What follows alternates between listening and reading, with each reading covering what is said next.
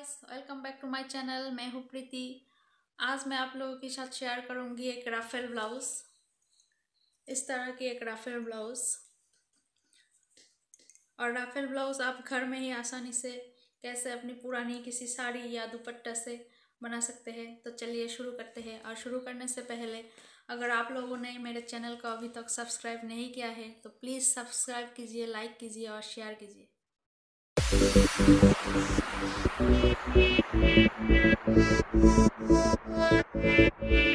you.